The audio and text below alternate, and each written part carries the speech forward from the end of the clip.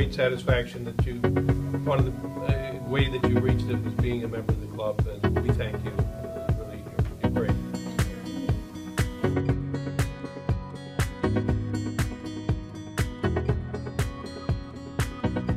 seeing such a large group of positive-minded thinking individuals in one place is it's a great sight. It's a great thing to look at, and it's rare to find.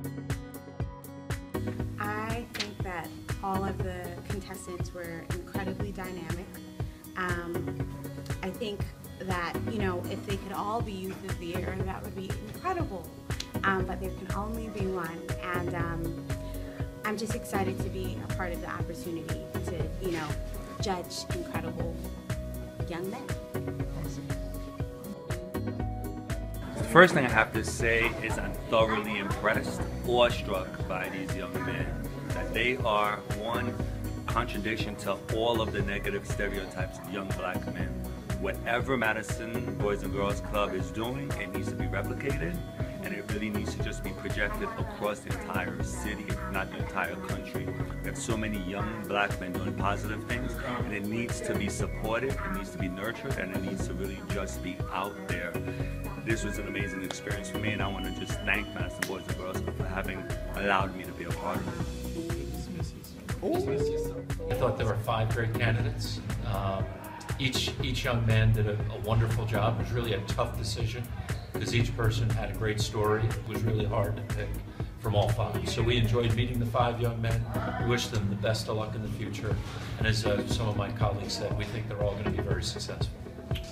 I really want to thank you for your time, effort, and energy for being a part of the program. The men of Murphy. This is a powerful message.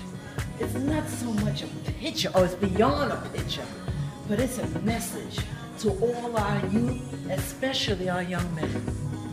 The expressions from each one of these children, and I say young men, say so much right now.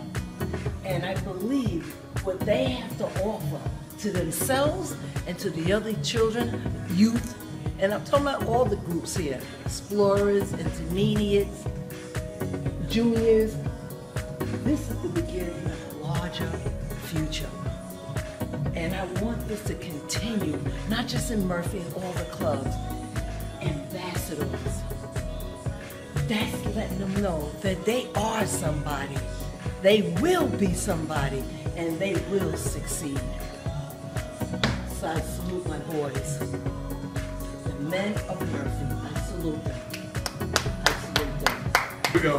Youth of the year. Well, I'm Roddy Winellis. I'm the Leadership Development Director here. And um, one of my duties is to prepare these young men um, for the Youth of the Year process. And having been that individual day in, day out, I did see greatness. I honestly did.